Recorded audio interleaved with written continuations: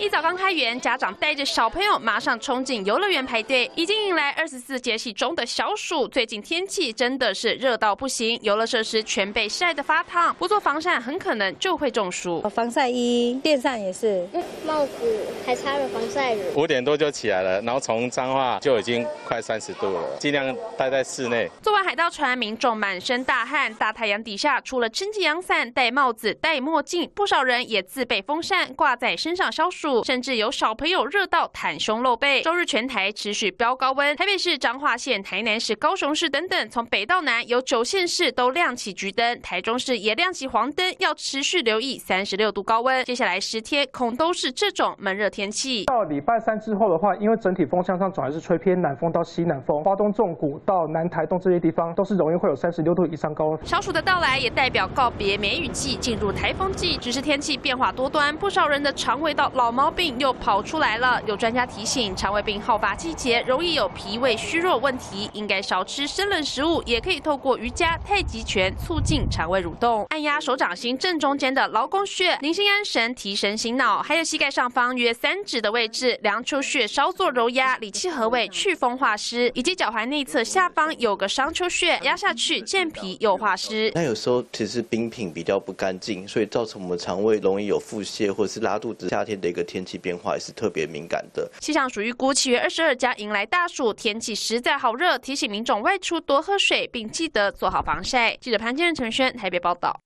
我是王一仲，新闻的产业带给我满满的使命感，不论是贴近民生的议题，或是国际的话题，我都能够精确、真实传达最完整的资讯给各位观众。当然，更多的新闻请锁定中视 YouTube 频道，记得按赞、订阅、分享，并开启小铃铛哦。